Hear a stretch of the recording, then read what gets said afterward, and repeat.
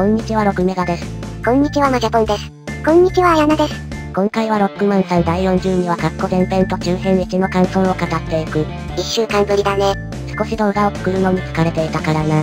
あんまり無理しない方がいいわよ6メガくん。伝書はするさ。それでは始めていくことにしよう。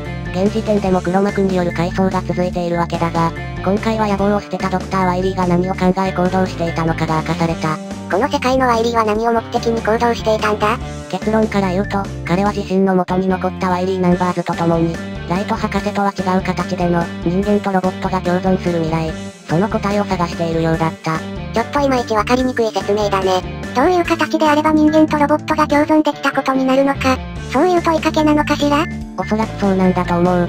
ちなみに今回、つまり42話のサブタイトルはエンカーと名前が付いていることから、どうやら今回は多少彼にもスポットの当たる会話がされるようだ。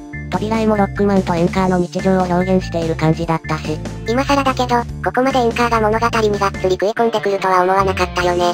だなさて、黒幕はこれまでの話の中で自分のサイボーグとしてのボディが、すでに限界に来始めていると話していた。残された時間が多くない彼女は、人間とロボットの共存という難題に対し、ロボットでも人間でもない自分の立場だからこそ、出せる答えを探し求めていた。その上で彼女はこう結論した。人間とロボットの共存はありえない。と、ここで42話前編は終了し、中編1へと続く。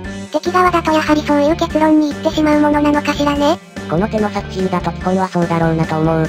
だが黒幕の話は中編1でさらに続いている。まずはそちらに注目したい。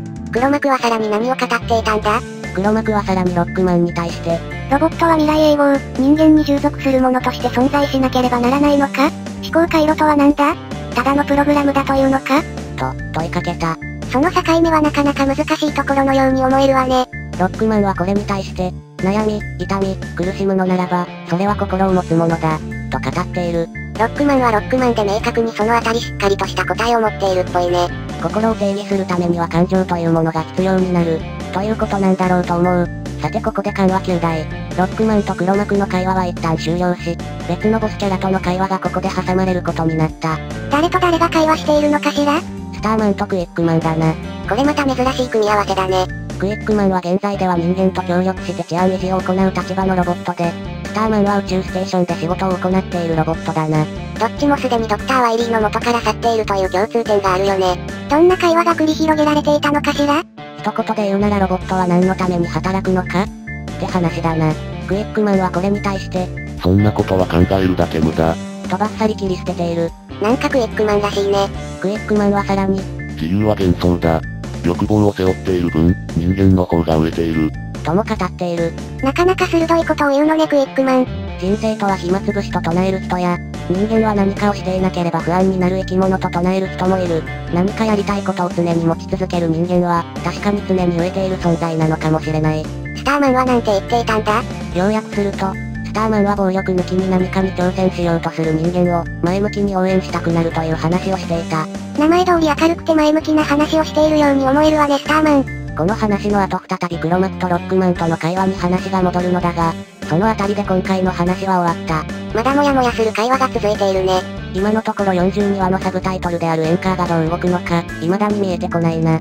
終盤で黒幕はロックマンに対し、人間にとって耳の痛いことを話していた。次回あたりでエンカーがそのことに対して何か思うところを口にしてくれることを祈りたい。次回も楽しみに待つとしよう。というわけで、今回はこの辺で、次の動画を逃さないために、チャンネル登録、Twitter フォロー、よろしくお願いします。ご視聴ありがとうございました。良いロックマンライフを。良いロックマンライフを。